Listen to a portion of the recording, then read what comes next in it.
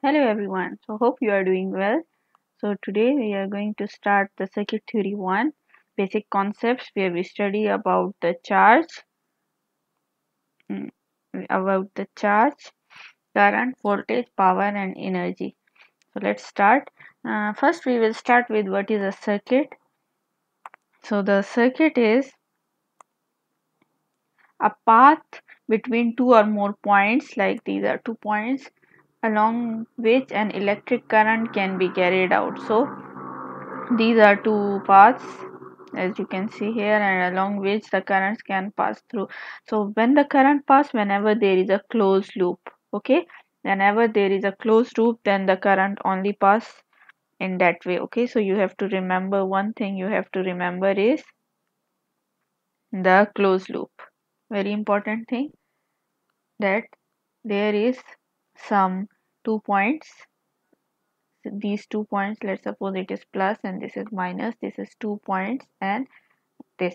So this will be a circuit where the current can pass. Current can only pass when the loop is closed. This is called uh, loop okay? Loop is something which is repeated so when it is closed or it is continuous so the current pass through it. Like this is a loop. Similarly this is a loop.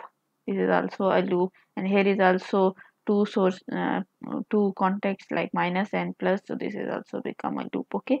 If it's open like this and there is no uh, connection here no connection no plus minus or current source or no element here then it is not called closed loop and there will be no current here okay? So this is one of the concept. So this is capacitor and this is diode. These are the diodes resistors variable resistors. And this is ICI triple five timer. So uh, and this is the transistor. So these are different elements which uh, I am expecting you know this in advance. So what is the difference between this diode and this diode? So this is Zener diode because from the mm, shape you can see this is like this one Z so this is and this is the simple diode okay? And then again the capacitor. So that was all um, I want to give you an overview. So this was a circuit. Therefore then we have light emitting diodes uh, rectifiers transformers power supply 250 this is a circuit breaker this can uh, usually we see in our houses. So this is used when we have to disconnect the electric part from one point to another. So we use these kind of circuit breakers okay? Here you can see. But this is something uh, which are not which we are not focusing. We will focus on some basic concepts today um, which will teach us later what kind of uh, circuit we have and where we can use it. So this can be integrated circuits and there can be printed circuits okay? So if you notice in your mobiles and other things you already seen this kind of PCBs so these are different kind of circuits. Now we move towards today's topic. So these are basic concepts. So basically we will see some of the system of units the SI units and then we will see what is electric charge. And you know the charge when it pass through a time when the charge charge can be positive can be negative mm, it can be negative. So when the charge is passed in within some time it is called current. And the flow of current ha always have some resistance. So if you know the ohm's law is equal to ir which says that whenever the current is going there are some obstacles right? The current never flow in mm, easily. So there are some obstacles which are called resistance. So when the current and resistance multiplies it gives us the voltage. So when we multiply the voltage with current it gives us power. Okay and the unit of power we will see in this SI unit. And these all have circuit elements which can be active or passive. I, I can give you a small idea that active uh, elements are those which produce electricity. So what devices? Voltmeter ampere meter so power supplies. So these are active. And passive which take energy like resistor and other passive devices we will show you later okay? So these are the basic concepts through which we will go in this lecture. So let's move to the next slide. So the first thing first is the system of units which units we will use. There are different units. Like if I have sorry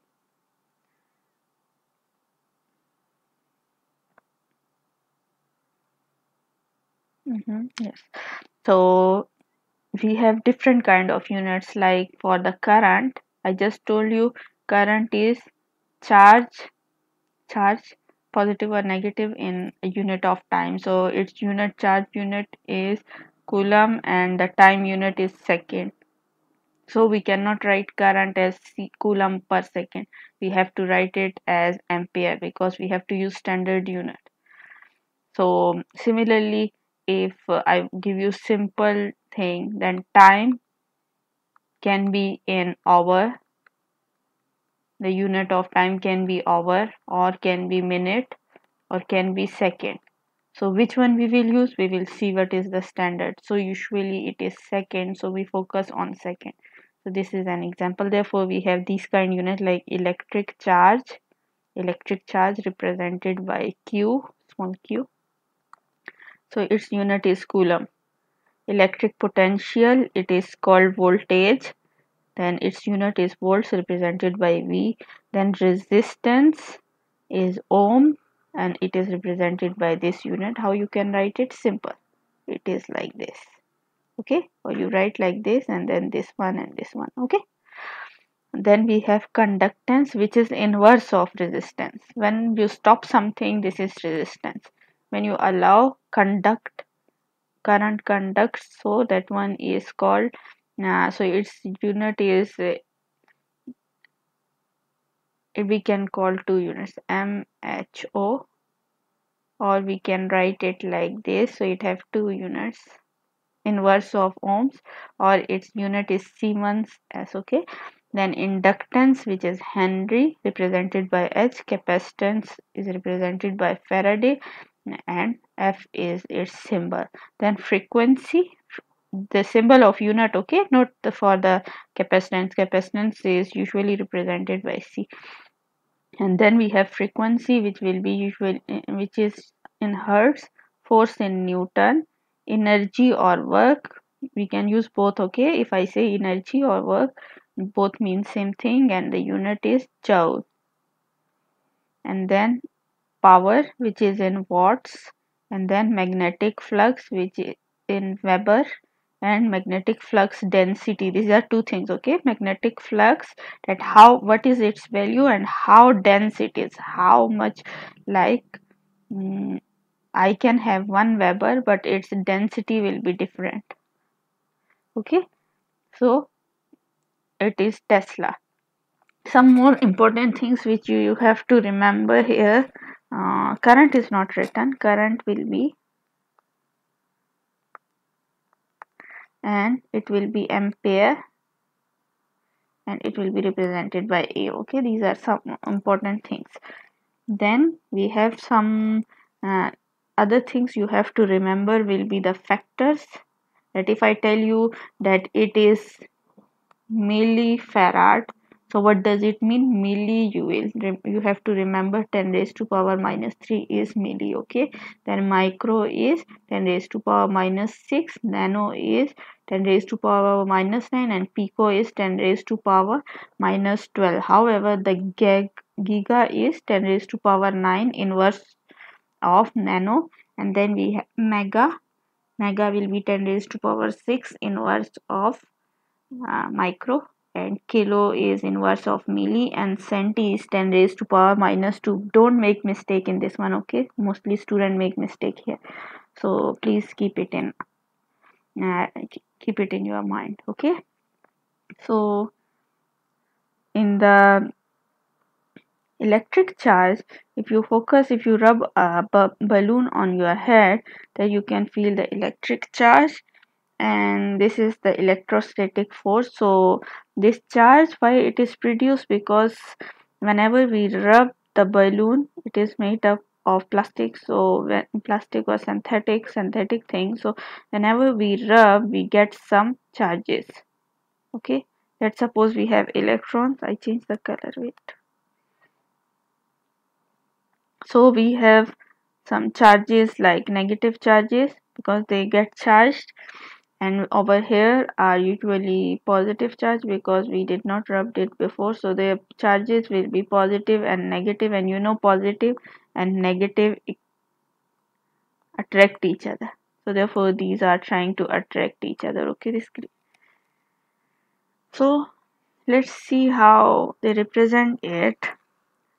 Actually everything is made up of atom. An atom is made up of three uh, part uh, three atom have three particles. One is nucleus electron and proton. Okay there is proton also here.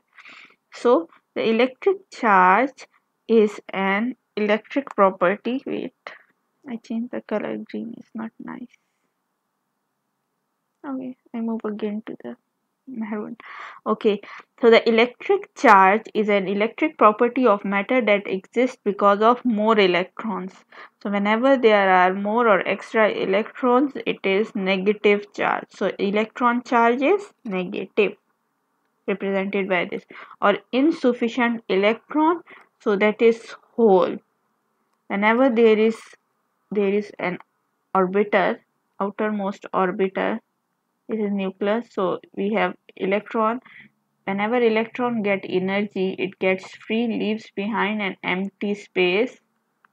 So it is called hole or it it act like a positive charge.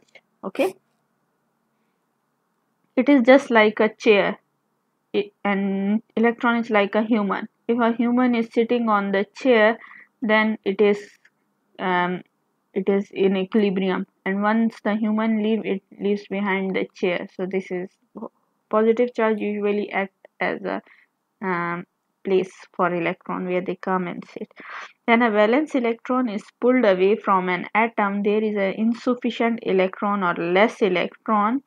Therefore the atom become positive ion with a net positive charge. So now when the electron le left already it become positive okay?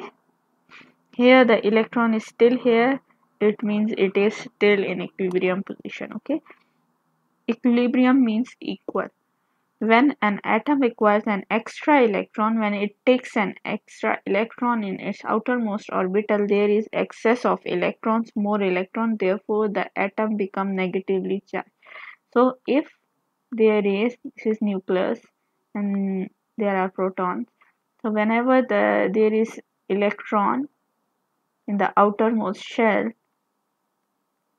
then it is called negatively charged or it takes electron from somewhere it is negative charge.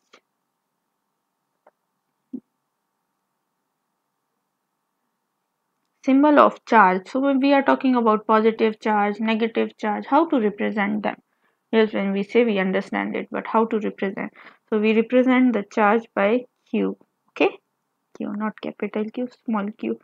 Or can be capital it doesn't matter. So q and SI unit is coulomb. So what is charge? Charge is presented in coulomb and it can be positive or negative okay? So electric charge how to measure the electric charge? 1 coulomb is total charge possessed by 6.25 into 10 raised to power 18 electron what does it mean? How much electrons are there in 1 coulomb? 1 coulomb have 3.25 into 10 raised to power 18 electrons okay? So how we can find a single electron? A single electron will be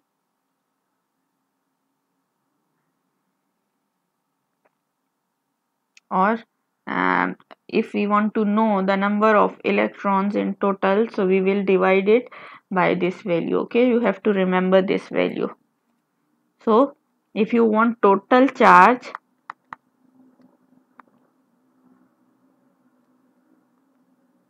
q okay? For let's suppose we have one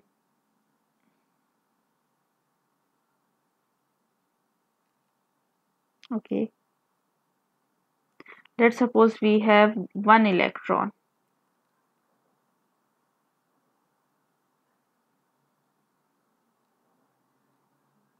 Okay.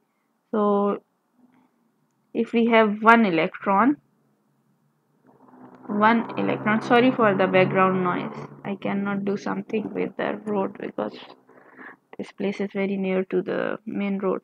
Okay so for one electron it will be one electron divided by this value okay? 6.25 into 10 raised to power 18 so electrons right? Here they wrote electrons. So electron will cut with electron and this will be some value which is equal to 1.602 into 10 raised to power minus 19 and what is the unit of charge? Coulomb okay? Similarly if i want to ask let's do another example that I tell you that okay we have five electrons. Find the charge on five electrons. Find the charge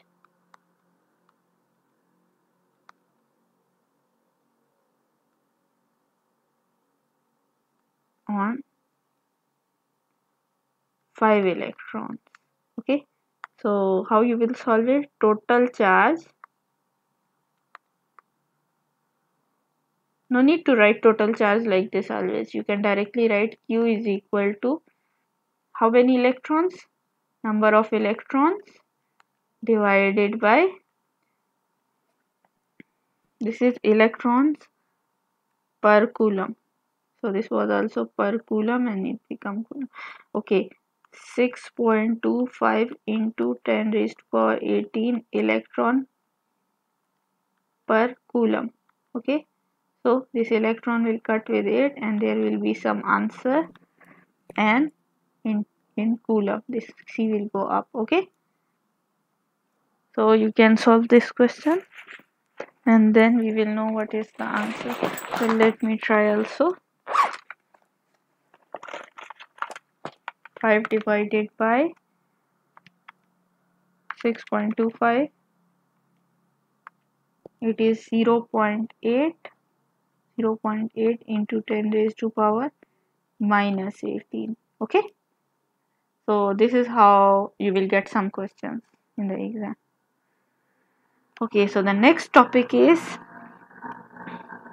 voltage or potential difference okay so what is voltage and how to represent is voltage or potential difference is energy required to move a unit of charge. What was charge? Representation Q. Okay.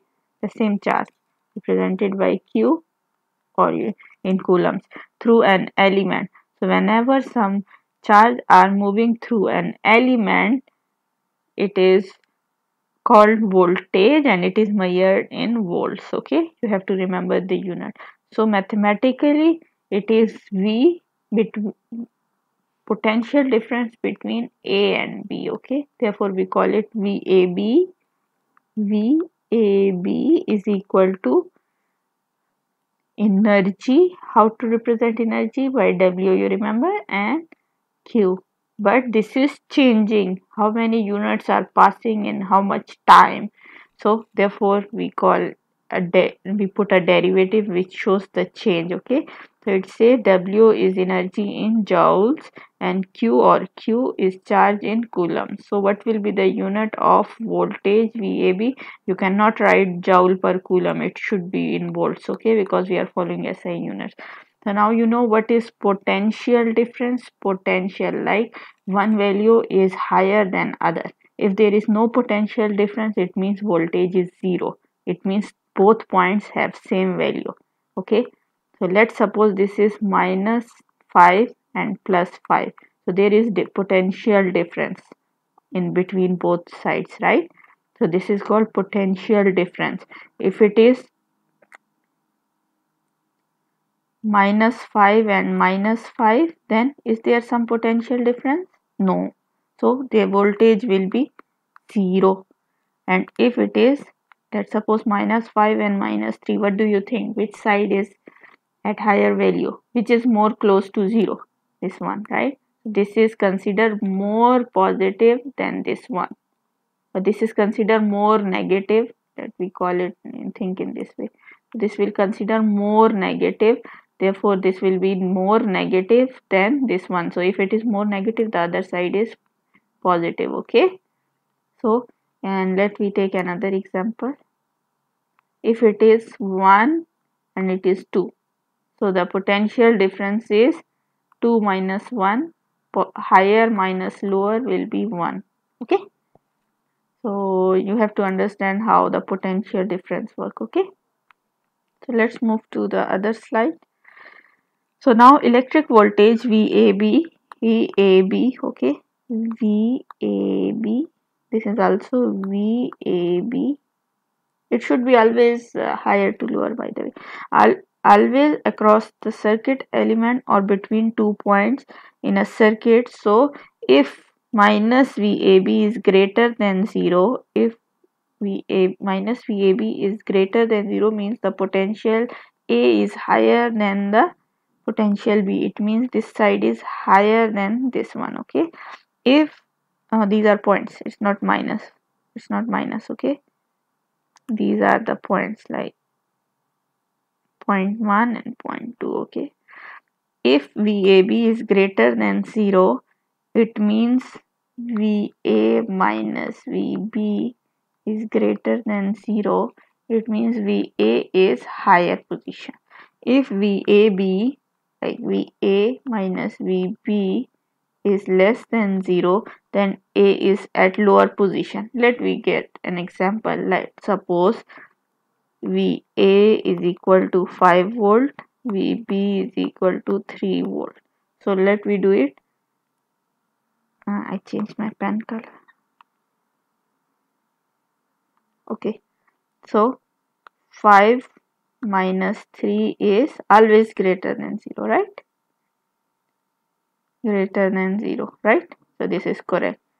So if I say V A is equal to 3 volt VB is equal to 5 volt then 3 minus 5 is less than 0 right? It means that simple thing that a is greater or less will make it mm, uh, the potential it will show us which potential is where. So now we have 9 volts. VAB is equal to 9 volt. VAB is equal to 9 volt. What does it mean? That A is at higher potential than B. And in the other example this is example A this is example B. VAB is equal to how much? Minus 7. But the minus 9 volt. What does it mean? That A is lower than B. Okay, same here. So I think this is enough for today. We start in another uh, another class. We start with the current. So thank you, thank you for watching this. I hope you like it. Please comment if there is still some issues you want me to do more example. Just let me know. Okay. Thank you. Bye bye.